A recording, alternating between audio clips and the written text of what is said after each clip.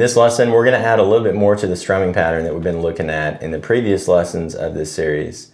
And if you're just now joining us in this lesson series, what you're watching here at countryguitaronline.com is a country and bluegrass rhythm guitar course where we started in lesson number one learning the most basic country and bluegrass strumming pattern. It was the pattern that I call the most important strumming pattern for country and bluegrass music.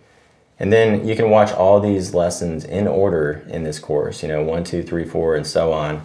Um, and each lesson that we go through in this course is going to be a little more complex than the previous, and we'll add in a few more extra accent picks and accent strums to make your rhythm guitar sound more country and bluegrass. So let's zoom in, let's take a look at today's strumming pattern, and I'll give you all some good pointers as we go along for your country and bluegrass rhythm. And I'll show you a good chord progression you can use to practice it over, and then I'll show you a good song that you can use to practice today's strumming pattern over as well. In this series, we started out with that boom chick pattern.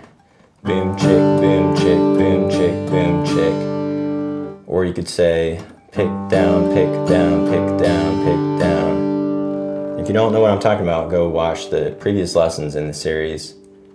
So we started with that pattern. Then next in the series, we added an one axis strum to the end of that.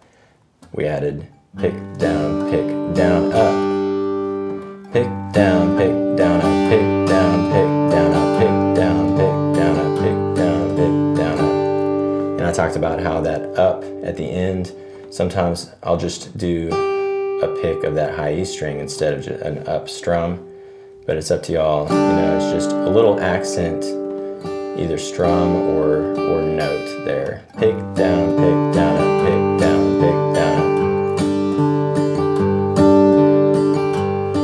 So we did that in previous lesson. Now in this video, what we're gonna do is pick, pick, down.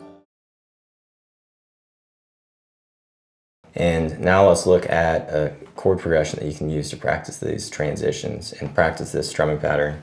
And this is a very basic chord progression here. You got two measures of G, two measures of F, two measures of C, and back to two measures of G, and then you loop back around to the beginning. So there's eight measures in total. And let me play through it, and then I'll, I'll give you all some notes about the strumming.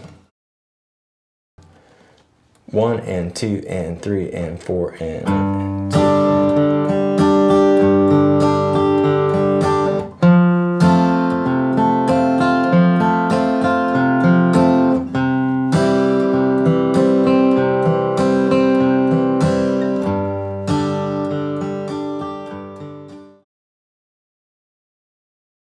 two. One other thing you can do is add in this really nice chord embellishment over the C major chord part. This one right here, this chord embellishment. And back to the G. So let's play through the whole progression here.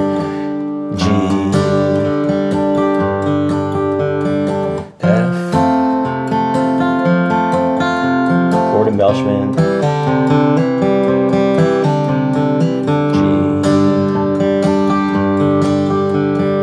Nice touch there.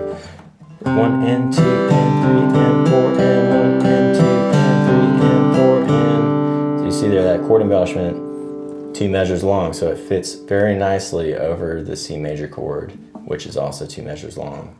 So instead of that strumming, you're gonna do this embellishment here.